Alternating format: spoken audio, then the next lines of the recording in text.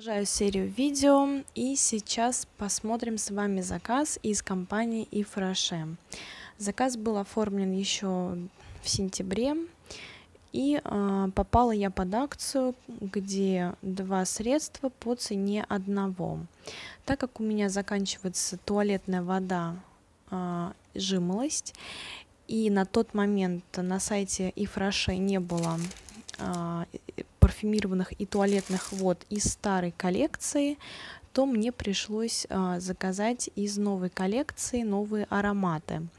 И давайте с вами посмотрим. Конечно, когда все это пришло, выглядит это вообще совсем миниатюрно, то есть вы можете видеть мою ладошку и сам флакон. И давайте рассмотрим. Первое, это у нас с вами водичка. Все эти воды парфюмированные. А, у меня была покупка вообще, в принципе, только из двух этих водичек. Значит, 30 а, миллилитров, а, две водички стоили по цене, по одной цене. То есть 2 равно 1, точнее 1 равно 2 за 2400 рублей. В принципе, для парфюмированных вод а, компании Ифраше а, это относительно средняя цена, но я думаю, что а, из-за того, что это новинки и такие относительно моноароматы, конечно, стоят дороже. И давайте посмотрим. Значит, можно было выбирать пару себе не такой же аромат, а именно на, по выбору. То есть, если вы видите, здесь разные ароматы. Один это Nouveau Genre, и второй это Cuir de Nuit. Честно говоря, парфюмированный состав... А, ну я могу прочитать, здесь есть информация на русском. Вот смотрите, Nouveau Genre а, это бобы тонко и пачули. А, парфюмер Мари Соломань. Ну и давайте посмотрим.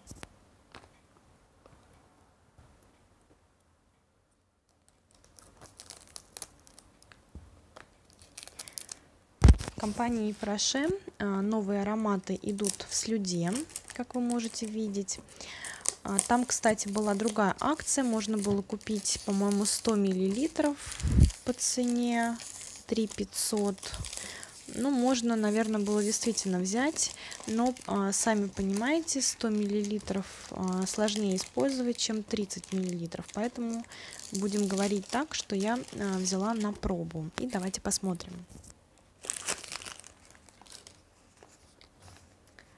Коробочка сама матовая, есть некие такие выпуклости а-ля 3D. Ну и давайте посмотрим. Аромат, аромат уже ощущается через коробочку. Хочу просто комментировать, но не получится сейчас. Одну секунду.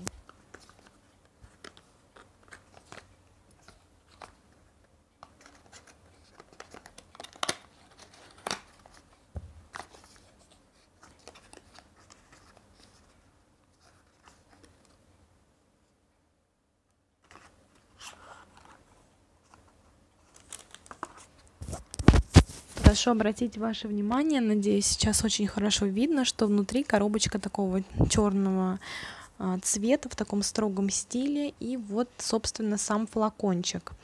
А, как вы можете видеть, а, мне напоминает данная упаковка почему-то компании Буреда. Там, правда, крышечка немножко такая полуовальная, а, собственно, вариант такой как бы флакончика пузатика, конечно, это тоже неплохой, неплохой, а, в общем-то, вариант. Здесь донышко такое впуклое получается, ну, в общем-то, неплохо.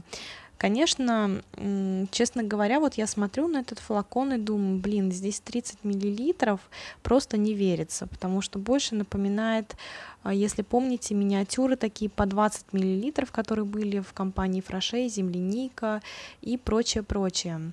Ну, давайте сейчас протестируем аромат.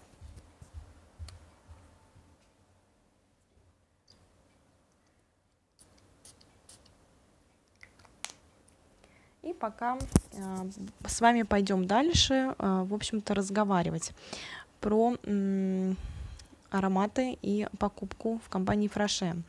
Ну, первое, что я сейчас, конечно, чувствую, интересное сочетание. Мне почему-то вот первые нотки, знаете, такой больше древесный аромат. Он действительно, наверное, так и есть, потому что пачули и бобы тонко, а, во-первых, бобы тонко, я уже про них рассказывала неоднократно, и про аромат, моноаромата из другой компании Oriflame. Но мы сейчас с вами не будем сравнивать, потому что это абсолютно два разных парфюма. Но то, что сейчас вот я чувствую, знаете, такое вот сочетание очень интересное. Мне почему-то вот, знаете, вот э, лес после дождя напоминает, но с каким-то вот ароматом действительно вот этого пачули. Э, в общем-то, непло- неплохо, неплохо, такой сладенький. Ну, будем смотреть. Э, сегодня как раз я его протестирую, посмотрим, сколько будет держаться. И давайте перейдем ко второму аромату Queer de Nuit. Что, что у нас в этом аромате? Это чувственный ванильный аромат с кожаными нотками, оказывается в плену мягкой силы ароматов какао и кофе. Ну, конечно, безумно меня это подкупило. Кожа, какао, кофе, ваниль должно пахнуть, конечно, просто бомбически.